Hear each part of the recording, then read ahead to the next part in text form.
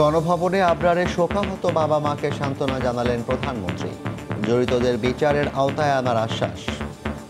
দেখছিলেন প্রধান শিরোনাম। রাত এগারোটার সময় সঙ্গে আছি আমি জাফর সাদি এবং আমি হাফসাতুন্নেসা এবার অন্যান্য শীর্ষ সংবাদ।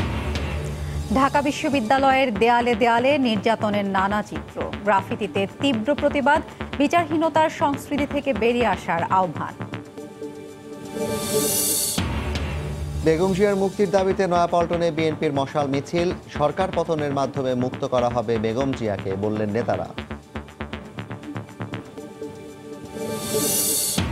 তেজস্ক্রিয় দূষণকারীদেরই বর্জ্য অপসারণ করতে হবে। মন্ত্রিসভায় খসড়া নীতিমালা অনুমোদন। রূপপুরের বর্জ্য ফেরত যাবে রাশিয়াতেই বেসিক ব্যাংকের আব্দুল হাই বাচ্চুর বিরুদ্ধে ব্যবস্থা না নেয় দুদক চেয়ারম্যানের পদত্যাগ দাবি এমপি তাপসের। শিগগিরই চার্জশিট জানালেন আইনজীবী। এবং সাড়ে তিন মাস পর বসতে যাচ্ছে পদ্মা সেতুর পনেরোতম স্প্যান। নেওয়া হলো পিলারের কাছে ড্রেজিংয়ে সময় বেশি লাগায় তোলা হবে বুধবার।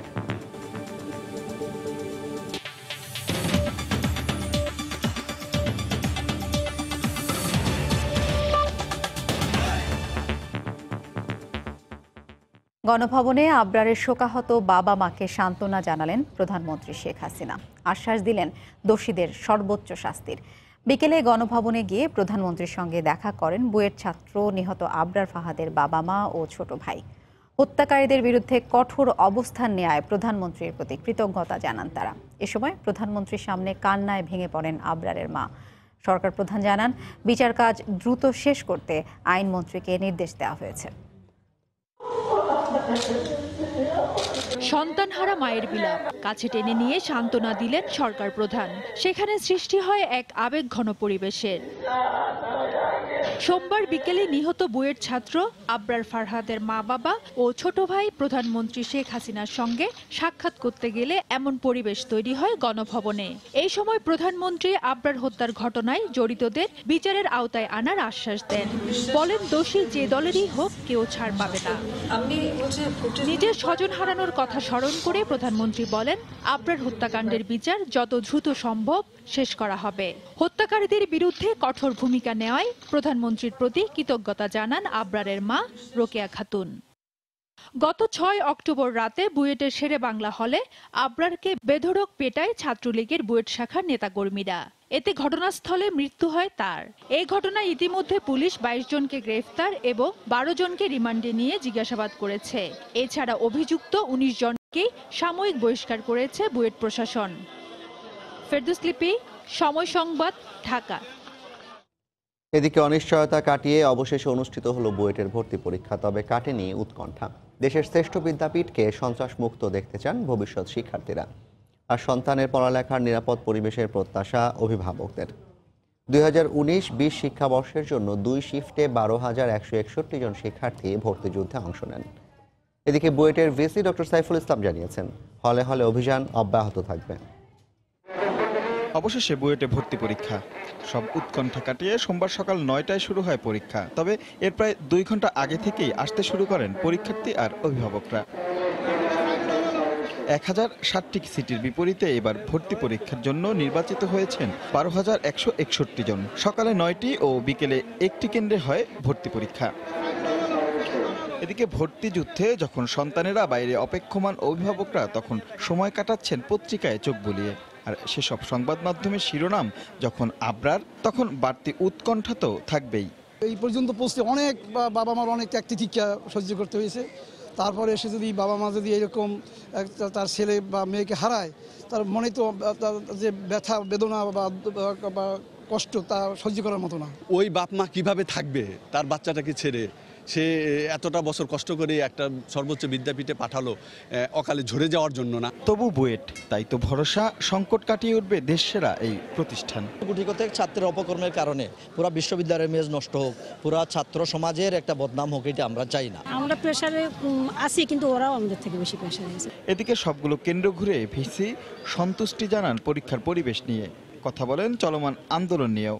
আমরা তো আলটিমেটলি সুন্দরভাবেই করেছি এবং এটা তাদেরও, তারা ধন্যবাদ পাওয়ার যোগ্য, কারণ শেষ পর্যন্ত তারা রাজি হয়েছে বলেই তো নিতে পেরেছি। আমার বিশ্বাস যে ওরা আমাদের কথা বাকিটুকু শুনবে এবং সুষ্ঠু পরিবেশ আমরা ফিরিয়ে আনার জন্য যতটুকু সম্ভব পারছি করছি আমরা। আমরা আরও কমিটি করছি যে কমিটিগুলো কাজ করবে বিভিন্নভাবে। ঘড়ির কাটায় বারোটার পর থেকেই একে একে বের হতে থাকেন শিক্ষার্থীরা। প্রশ্ন নিয়েছিল, মিশ্র প্রতিক্রিয়া, তবে প্রত্যাশার কথা ছিল একই, স্বপ্নের বুয়েট র্যাগিং মুক্ত বুয়েট। আমি এমন একটি বুয়েট দেখতে চাই যেখানে স্টুডেন্টরা তাদের অধিকার পাবে এবং র্যাগিং মুক্ত ক্যাম্পাস থাকবে। অবশ্যই রাজনীতি মুক্ত বুয়েট দেখতে চাই কারণ র্যাগিংটা আসলে বন্ধ হওয়া উচিত। এই ধরনের রাজনীতি মুক্ত ক্যাম্পাস চাই আর ভালো জিনিসের জন্য আন্দোলন করব। ক্যাম্পাসে শুকনো খাবার আর পানি দিয়ে পরীক্ষার্থী ও অভিভাবকদের সহায়তা করেছেন বর্তমান শিক্ষার্থীরা। পাঁচ নভেম্বর ভর্তি পরীক্ষার ফল প্রকাশের কথা রয়েছে। আবরার হত্যার প্রতিবারে বুয়েট জুড়ে যখন টালমাটাল অবস্থা, ঠিক তখনই বিশ্ববিদ্যালয়ে পা রাখতে যাচ্ছে নতুন একটি ব্যাচ। তাদের প্রত্যাশা, সব সংকট কাটিয়ে দ্রুত আপন মহিমায় ফিরবে দেশ সেরা এই বিদ্যাপীঠ। রাশেদ লিমন, সময় সংবাদ, ঢাকা। বুয়েট শিক্ষার্থী আবরার ফাহাদ হত্যা মামলার এজাহারভুক্ত চার নম্বর আসামি মেহেদি হাসান রবিন দায় স্বীকার করে একশো চৌষট্টি ধারা জবানবন্দি দিয়েছে। রবিনকে নিয়ে এ মামলায় মোট পাঁচজন আসামি হত্যার দায় স্বীকার করে জবানবন্দি দিল। সকালে মেট্রোপলিটন ম্যাজিস্ট্রেট মোহাম্মদ তোফাজ্জল হোসেনের আদালতে রবিনকে হাজির করে ডিবি পুলিশ। বিচারকের খাস কামরায় রবিন আবরার হত্যায় তার প্রত্যক্ষভাবে জড়িত থাকার কথা স্বীকার করে। জবানবন্দি শেষে রবিনকে কারাগারে নিয়ে যাওয়া হয়।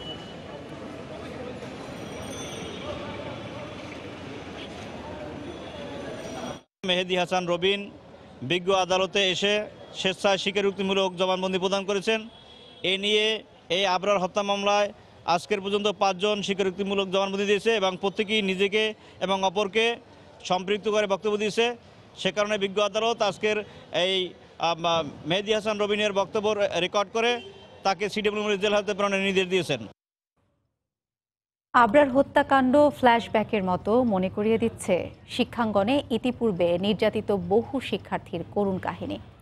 ঢাকা বিশ্ববিদ্যালয়ের দেয়ালে দেয়ালে ফুটিয়ে তোলা হয়েছে সেই নিহত, নিপীড়িত শিক্ষার্থীর মুখ। প্রতিবাদের দেয়ালচিত্রের মুখগুলো ব্যস্ত পথচারীকে যেন বলছে, আর কত? আতিকুর রহমান তমালের রিপোর্ট।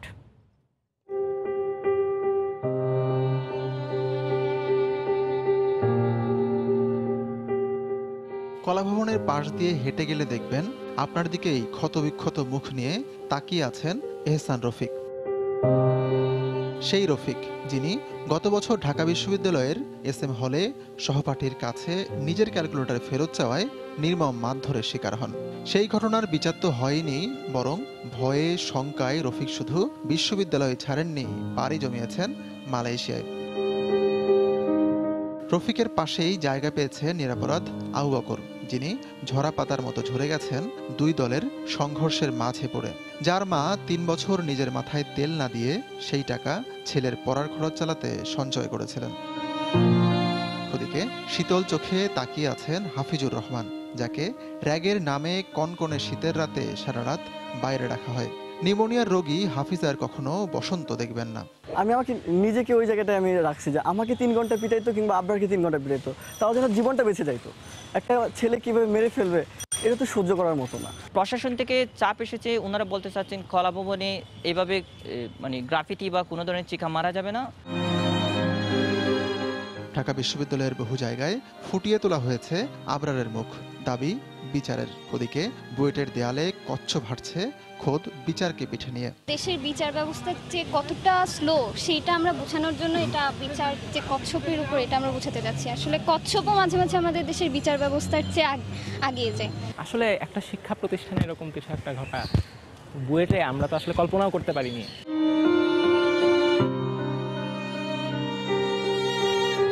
আমাদের ধারণা ছিল ভালো শিক্ষার্থী মানেই সাধারণের তুলনায় বেশি সংবেদনশীল এবং মানবিক মানুষ। কিন্তু ধারণাটা কতটা ভুল তা তো দৃশ্যমান। যা কিছু হচ্ছে এখন যথেষ্ট অস্বাভাবিক। আমাদের সবাইকে আচরণ মানুষের মতো আচরণ করতে হবে। বুয়েটে হয়তো সিসিটিভি ক্যামেরা আছে বলে জিনিসটা খুব চোখের সামনে ধরা পড়ে গেল। কিন্তু বুয়েটের বাইরে হয়তো অনেক জায়গায় আছে যেখানে লাশটা নিয়ে কোনো একটা জায়গায় ফেলে দিলে আর কেউ কখনো, নিখোঁজ হয়ে গেছে। তবে কি ভোগ বাসনার লোভের কাছে পরাজিত হচ্ছে মূল্যবোধ? শিক্ষাঙ্গনে রাজনীতি থাকা উচিত নাকি উচিত নয়? আবরার খুনের পর এই প্রশ্ন এখন দেশ জুড়ে। কিন্তু অনেক শিক্ষার্থী এটাও বলছেন যে, মৌলিক যে প্রশ্নটির উত্তর সবচেয়ে বেশি জরুরি সেটি হলো, মানুষ কবে মানুষ হবে? আতিকুর রহমান তামাল, সময় সংবাদ, ঢাকা। তেজস্ক্রিয় দূষণকারীদেরই বর্জ্য অপসারণের সব ব্যয় বহন করতে হবে। সকালে মন্ত্রিসভার বৈঠকে এ সংক্রান্ত জাতীয় নীতিমালার খসড়া অনুমোদন দেওয়া হয়। পরে সংবাদ সম্মেলনে মন্ত্রিপরিষদ সচিব জানান, নীতিমালা ও চুক্তি অনুসারে রূপপুর পারমাণবিক বিদ্যুৎ কেন্দ্রের তেজস্ক্রিয় বর্জ্য রাশিয়া তাদের দেশে ফেরত নিয়ে যাবে। পাবনার রূপপুর পারমাণবিক বিদ্যুৎ কেন্দ্র অপারেশন ও রক্ষণাবেক্ষণ থেকে উৎপাদিত তেজস্ক্রিয় বর্জ্য ব্যবস্থাপনাই এখন সবচেয়ে বেশি ভাবিয়ে তুলেছে।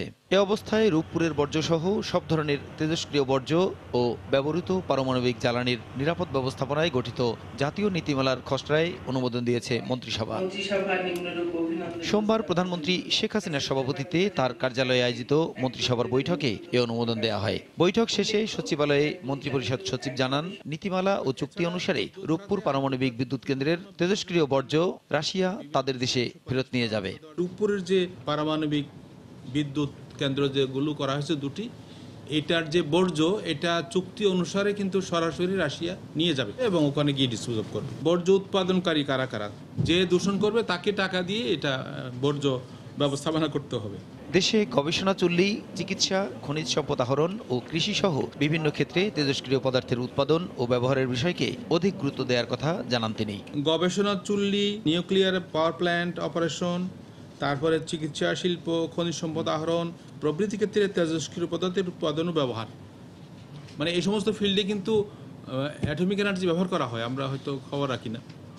এগুলোর যদি বর্জ্য যেটা উৎপাদন হবে, সেটা কীভাবে ডিসপোজ তার জন্য এটা হল গাইডলাইন প্রধানমন্ত্রী শেখ হাসিনার বিশ্বের দীর্ঘমেয়াদী শীর্ষ নারী সরকার প্রধান হিসেবে দায়িত্ব পালন ও ভারতের এশিয়াটিক সোসাইটি কর্তৃক ট্যাগর পিস অ্যাওয়ার্ডে ভূষিত হওয়ায় মন্ত্রিসভায় ধন্যবাদ প্রস্তাব গৃহীত হয়। এছাড়া এবার দেশে সবচেয়ে বেশি সংখ্যক পূজা মণ্ডপে নির্বিঘ্নে পুজো উদযাপন হওয়ায় মন্ত্রিসভা সন্তোষ প্রকাশ করে বলেও জানান মন্ত্রিপরিষদ সচিব। শীর্ষ নারী সরকার প্রধান হিসেবে তাকে অভিনন্দন জ্ঞাপন করা হয়। প্রসূন আশিস সময় সংবাদ ঢাকা। বেগম জিয়ার মুক্তি ও তারেক রহমানের বিরুদ্ধে দায়ের হওয়া মামলা প্রত্যাহারের দাবিতে রাজধানীর নয়াপল্টনে মশাল মিছিল করেছে বিএনপি। মিছিল শেষে সংক্ষিপ্ত সমাবেশে দলের সিনিয়র যুগ্ম মহাসচিব রুহুল কবির রিজভি বলেন, আন্দোলন শুরু হয়ে গেছে। এই আন্দোলনেই সরকার পতনের মাধ্যমে বেগম জিয়াকে মুক্ত করা হবে। সোমবার সন্ধ্যা সাড়ে ছয়টার দিকে বিএনপির সিনিয়র যুগ্ম মহাসচিব রুহুল কবির রিজভির নেতৃত্বে রাজধানীর নয়াপল্টনে দলটির কেন্দ্রীয় কার্যালয়ের সামনে থেকে শুরু হয় মশাল মিছিল। এতে অংশ নেন বিএনপি ও এর অঙ্গ ও সহযোগী সংগঠনের নেতাকর্মী ও সমর্থকরা। মশাল মিছিল থেকে বেগম জিয়ার মুক্তি দাবিতে বিভিন্ন স্লোগান দেয়া হয়। মিছিলটি নাইটেঙ্গেল মোড় হয়ে পল্টন থানার পাশ দিয়ে আবারও বিএনপি কার্যালয়ের সামনে এসে শেষ হয়। মিছিল শেষে সংক্ষিপ্ত বক্তব্যে সরকারের সমালোচনা করে রিজভি বলেন, বেগম জিয়াকে অন্যায়ভাবে কারাগারে রাখা হয়েছে। মশাল জ্বলে উঠেছে। আপনারা অন্ধকার করেছেন। গণতন্ত্রকে হত্যা করে আপনারা অন্ধকার করেছেন। বাক স্বাধীনতাকে হত্যা করে আপনারা অন্ধকার করেছেন গণতন্ত্রের প্রতীক।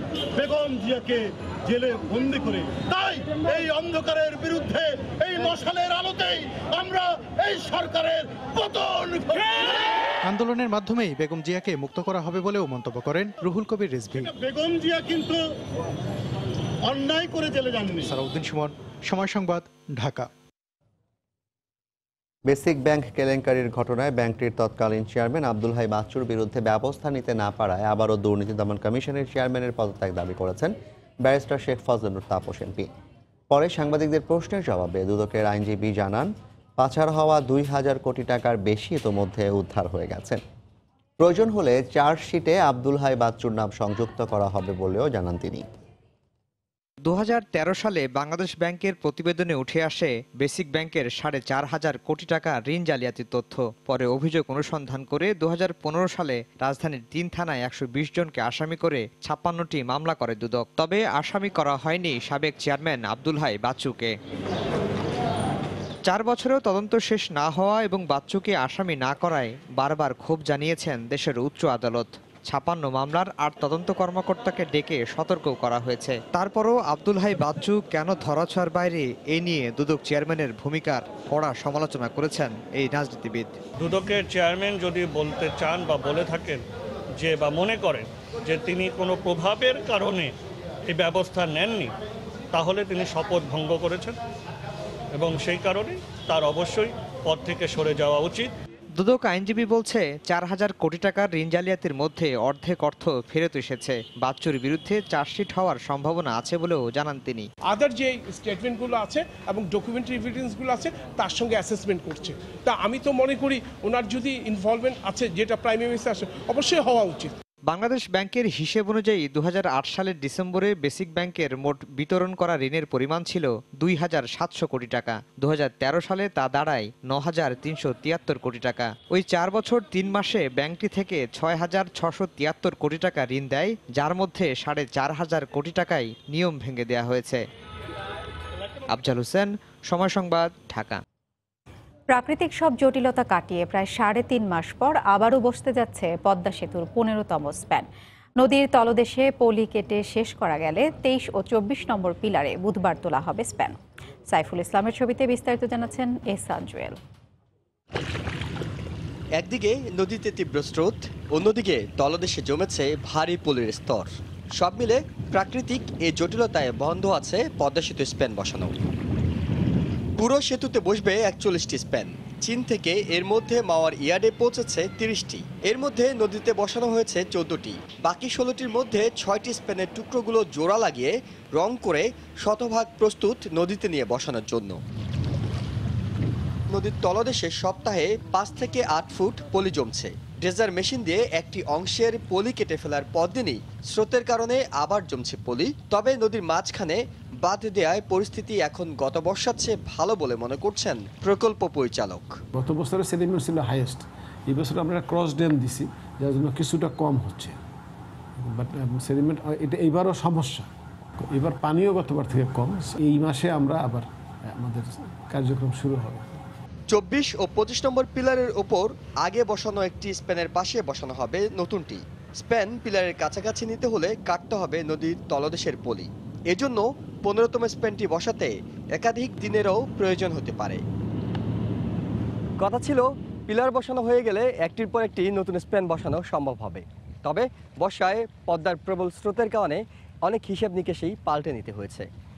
দীর্ঘ বিরতির পর বসতে যাচ্ছে নতুন স্প্যান কাজের এই ধারা অব্যাহত রাখার ব্যাপারে আশাবাদী প্রকল্প সংশ্লিষ্টরা।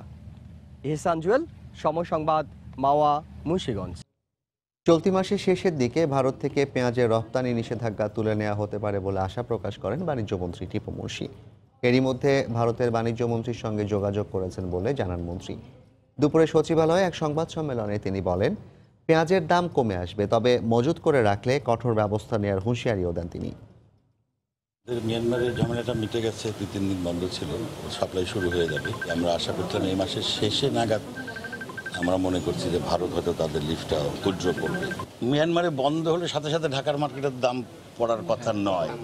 এই ব্যবসায়ীরা এই সুযোগটা নিচ্ছে তারা। তো আমরা দেখি শক্ত অবস্থান নেব। সমস্যা আমাদের আছে, কিন্তু সমস্যাটা আমরা সবার সমাধান করারও চেষ্টা করছি। ব্যবসায়ীদের সহযোগিতাও দরকার। ইলিশের প্রজনন মৌসুমে মাছ ধরা বন্ধ থাকলেও এখনও সব জেলের কাছে পৌঁছায়নি আর্থিক সাহায্য। নিষেধাজ্ঞা অমান্য করে মাছ ধরতে গিয়ে বাধার মুখে চাঁদপুরে নৌ পুলিশ ও জেলেদের সংঘর্ষ হয়েছে। এতে তিন পুলিশ সদস্য সহ অন্তত সাতজন আহত হয়েছেন। এছাড়া দেশের বিভিন্ন স্থানে শতাধিক জেলেকে আটক করা হয়েছে। নৌপুলিশ ও মৎস্য বিভাগের কর্মকর্তারা জানান, নিষেধাজ্ঞা অমান্য করে পদ্মা নদীতে মাছ ধরছে জেলেরা এমন সংবাদের ভিত্তিতে ভোরে অভিযান চালানো হয়। এ সময় সংঘবদ্ধ জেলেরা লগি বৈঠা নিয়ে আক্রমণ করে। এতে নৌপুলিশের তিন সদস্য সহ অন্তত সাতজন আহত হন। পরে বেশ কয়েক রাউন্ড শটগানের গুলি ছুড়ে পরিস্থিতি নিয়ন্ত্রণে আনে পুলিশ। এ সময় আরও বেশ কয়েকটি স্থানে অভিযান চালিয়ে পঞ্চাশ কেজি ইলিশ ও পঞ্চাশ হাজার মিটার জাল সহ আঠাশ জনকে আটক করা হয়। এত টাকা বরাদ্দ করে লগো কোনো কিছু দেওয়া হয় না। আমাদের ঘরে খাবার নাই কিস্তি দিতে পারি না। তারপরে আমাদের এই রাইট পয়লে আমাদের সংসারে খরচ বিভিন্ন আইটেম এখনও কোনো ধরনের সরকারি সহায়তা পাননি বলে অভিযোগ করেছেন বরগুনার জেলেরা। মাছ ধরার ট্রলারগুলো তীরে নোঙর করে জাল মেরামত করছেন তারা তবে বেশিরভাগ জেলে বেকার সময় পার করছেন। সহযোগিতা তো কিছু পাই না চাল পথ দেওয়ার কথা কইছে এখন এখন পর্যন্ত পাইনি। গাঙ্গে তো মাছ ধরা বন্ধ। এই বাইশ দিন। এখন যে আমরা কি খামু, কি করব, আমার চলার কোনো পথ নাই। বরিশালের কীর্তনখোলা, কালবদর, আড়িয়াল খা ও মেঘনা নদীতে রোববার রাতে অভিযান চালায় মৎস্য অধিদপ্তর, নৌপুলিশ ও নৌবাহিনীর সদস্যরা। অভিযানে ত্রিশ কেজি ইলিশ, পঞ্চাশ হাজার মিটার জালসহ আটক করা হয় একুশ জেলেকে। মুন্সীগঞ্জের লৌহজংয়ে নিষেধাজ্ঞা অমান্য করে মাছ ধরার সময় পঞ্চাশ জেলেকে আটক করেছে উপজেলা মৎস্য বিভাগ ও মাওয়া নৌ থানা পুলিশ অভিযানে এক লাখ মিটার কারেন্ট জাল ও তিনশো কেজি ইলিশ জব্দ করা হয়। এছাড়া রাজবাড়ী সহ দেশের উপকূলীয় নদ নদীতে নিষেধাজ্ঞা অমান্য করে মাছ ধরায় বেশ কিছু জেলেকে আটক করা হয়েছে। মনিরুজ্জামান প্রান্ত, সময় সংবাদ। এদিকে বঙ্গোপসাগরে বাংলাদেশের জলসীমায় অনুপ্রবেশ করে মাছ ধরার অভিযোগে ভারতীয় এগারো জেলেকে গ্রেফতার করেছে নৌবাহিনী। ভোরে ফেয়ারওয়ে বয়া এলাকা থেকে এফবি হীরা পার্বতী নামে একটি ট্রলার সহ তাদের আটক করা হয়। এরপর পুলিশের কাছে তাদের হস্তান্তর করা হলে আদালতের মাধ্যমে কারাগারে পাঠানো হয়। জেলেদের বিরুদ্ধে মোংলা থানায় একটি মামলা করেছে নৌঘাটির পিওআর এ বিমান আলী। গ্রেফতারকৃতদের বাড়ি ভারতের দক্ষিণ চব্বিশ পরগনায় বলে জানিয়েছে পুলিশ। এ নিয়ে গত পনেরো দিনে পাঁচটি ট্রলার সহ উনপঞ্চাশ জন ভারতীয় জেলেকে আটক করা হলো।